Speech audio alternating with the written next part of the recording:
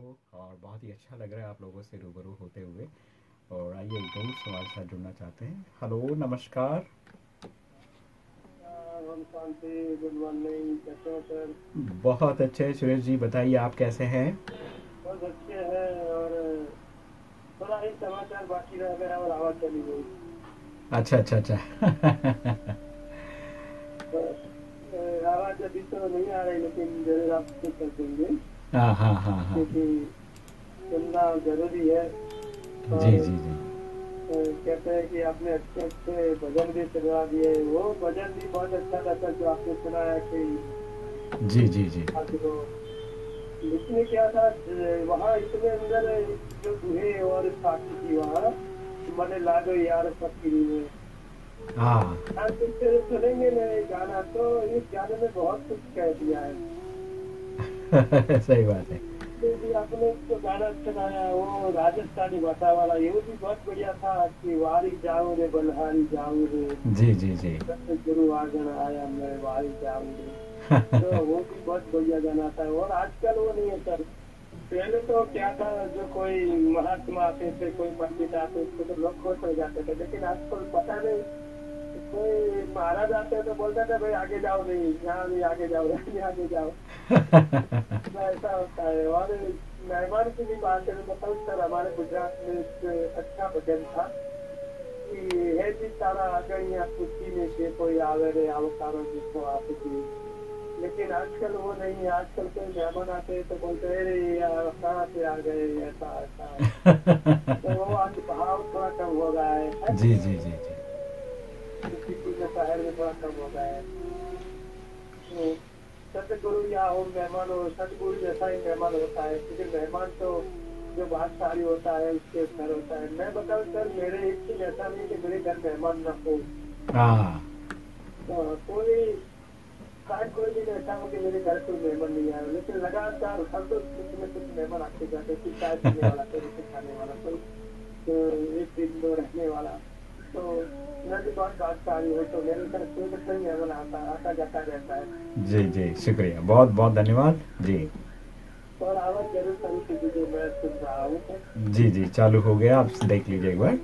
तो सुरेश जी बहुत बहुत धन्यवाद। शुक्रिया हमारे साथ जुड़ने के लिए अपनी भावनाओं को व्यक्त करने के लिए। थैंक यू सो मच बहुत बहुत शुक्रिया।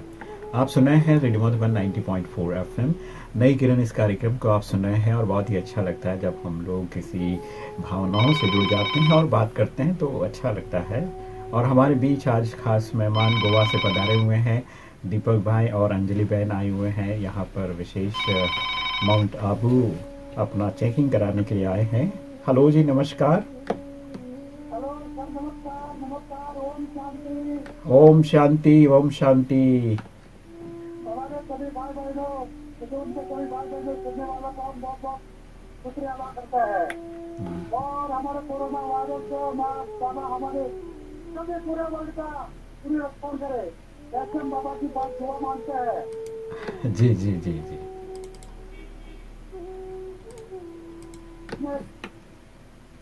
लाइन सुनाऊं दो लाइन।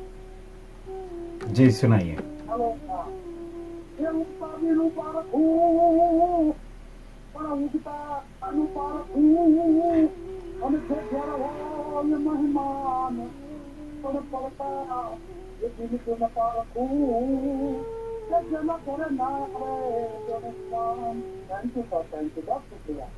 ओके भालू भाई बहुत बहुत धन्यवाद। शुक्रिया आपका। थैंक यू सो मच हमारे साथ जुड़कर अपनी भावनाएँ व्यक्त करने के लिए।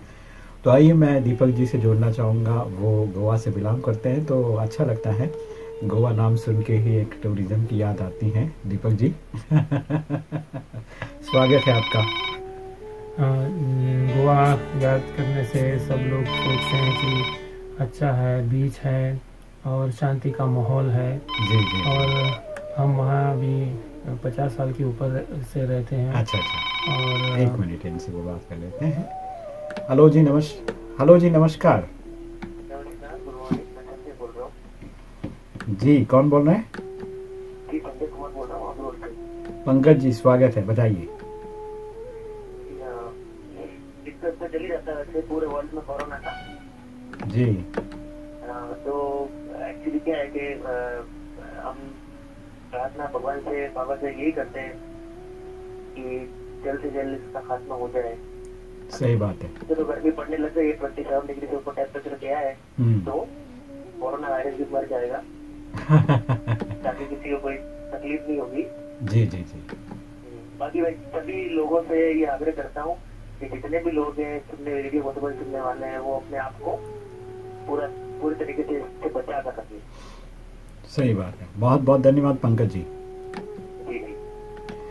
नमस्कार आप सुन रहे रेडियो मधुबन 90.4 एफएम। चलिए ये थे पंकज जी जो अपनी भावनाएँ व्यक्त कर रहे थे कोविड 19 के बारे में। तो आइए दीपक जी से मैं फिर से जोड़ना चाहूँगा और गोवा में 50 साल से वो रह रहे हैं और एजुकेशनिस्ट हैं और बच्चों को पढ़ाते हैं ट्रेनिंग देते हैं और अलग अलग सर्विसेज़ करते हैं और साथ ही साथ ब्रह्मा कुमारी से जुड़े हुए हैं और ब्रह्मा कुमारी इसका जो फिलॉसफी है, उसे भी फॉलो करते हैं मेडिटेशन करते हैं।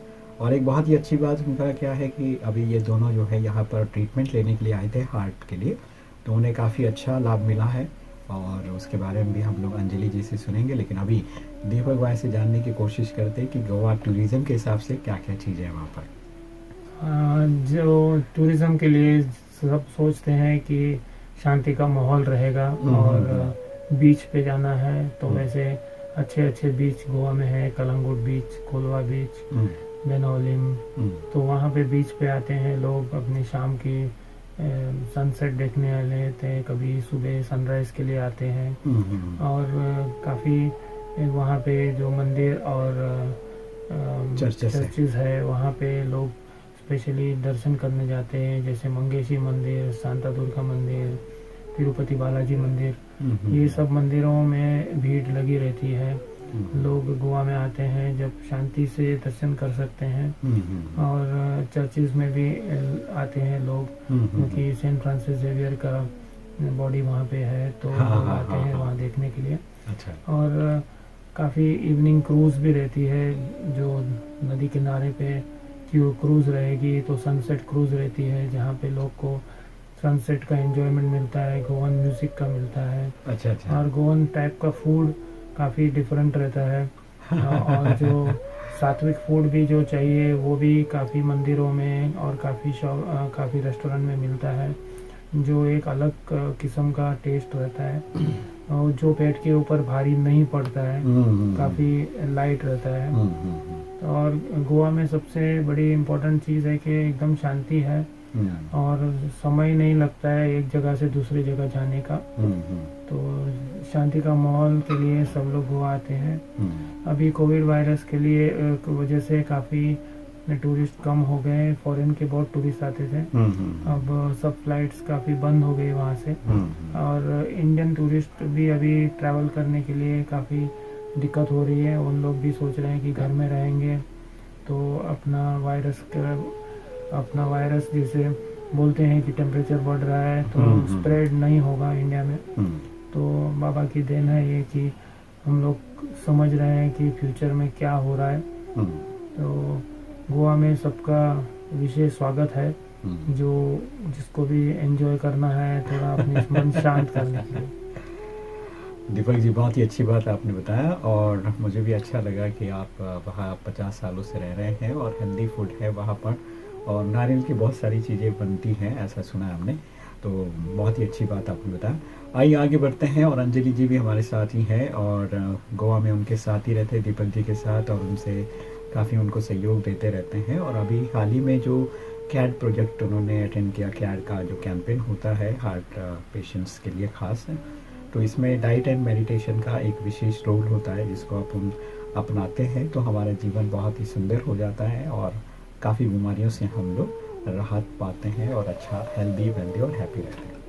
तो अंजलि जी बहुत बहुत स्वागत है आपका। नमस्कार। मैं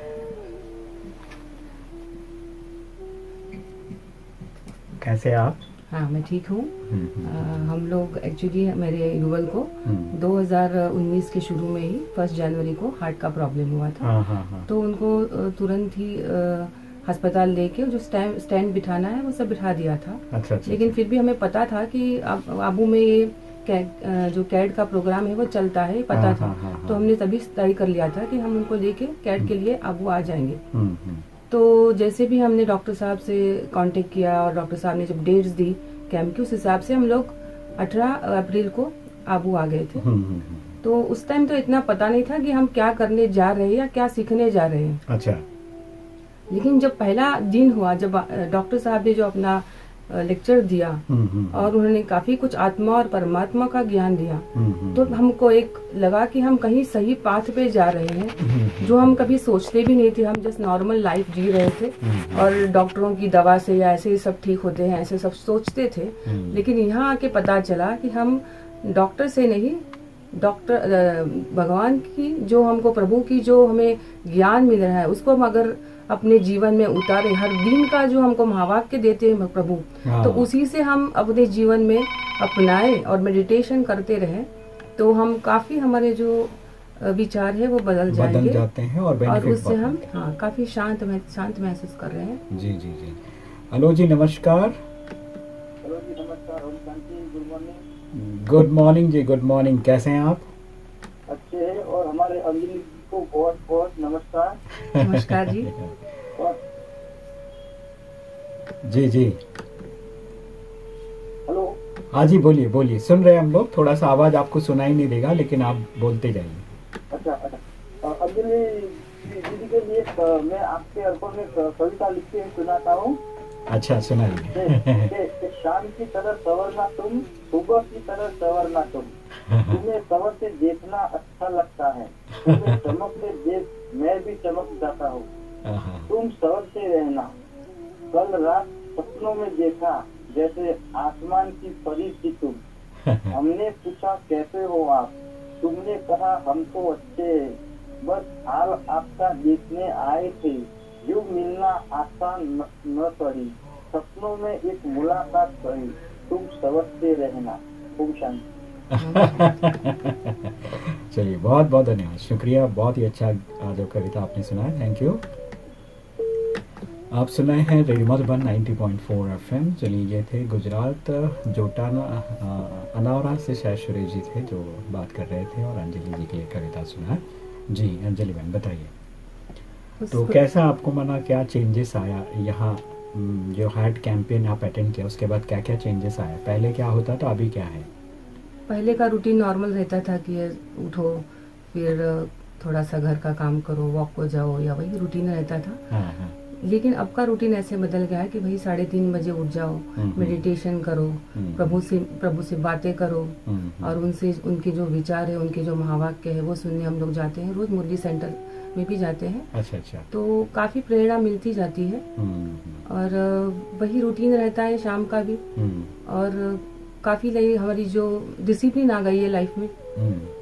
खाना पीना भी चेंज हो गया। खाना पीना बहुत ही चेंज हो गया है। अच्छा। तो हमें लगता है कि अगर हर कोई ये खाना अपनाए हाँ। बहुत इजी और सिंपल खाना है। हाँ, अगर आप ये खाना अपनाएँगे तो काफ़ी कुछ आपके जो हेल्थ के इश्यूज़ है हाँ, वो सॉल्व हो ही जाएँगे। हार्ट का तो एक अलग सा इश्यू है जो होता ही है। हाँ, साथ में आपके जो कोलेस्ट्रॉल का है वो लेवल भी काफ़ी लेवल कंट्रोल में हो जाता है। हम्म, एच जो होता है वो बढ़ता रहता है। हम्म, हम्म, एल है वो कंट्रोल में रहता है। हम्म, या आपके थायराइड की प्रॉब्लम है या जॉइंट्स की प्रॉब्लम है। हम्म, उसमें भी मुझे मुझे खुद को उसका काफ़ी अनुभव हुआ हम्म, कि जो हम नीचे नहीं बैठ सकते थे वो अब काफ़ी आराम से हम ज़मीन पे बैठ सकते हैं घंटा दो घंटा। अच्छा। और हमारी खुद की एचडीएल लेवल जो काफ़ी कम थी वो बढ़ के थर्टी से हमारी बढ़ के फोर्टी नाइन पहुँच गई। अरे तो वो एक अतेंद्रिय सुख जो बाबा के साथ रहते हमको हाँ और खाना फॉलो करते हुए हमको बहुत ही फ़र्क पड़ा है।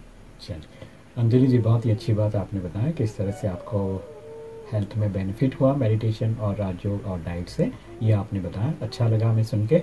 And thank you so much हमारे साथ इस एपिसोड में जुड़ने के लिए। दीपक जी, आपका भी बहुत बहुत शुक्रिया। गोवा के बारे में आपने बताया। अच्छा लगा हमें सुन के। And thank you so much हमारे साथ इस एपिसोड में जुड़ने के लिए। आइए, आगे बढ़ते हुए मैं आप सभी को ले चलता हूँ बहुत ही प्यारा सा गीत की तरफ़। उसके बाद फिर बातें करते हैं। आप सुनाए हैं रेडियो मधुबन 90.4 एफएम। सुनते रहो, मुस्कुराते रहो। ये रूहानी अंजुमन न्यारे नजारे हैं। ये फरिश्ते जो जमी पे उतरे तारे हैं। ये उतरे तारे कितने प्यारे कितने प्यारे हैं।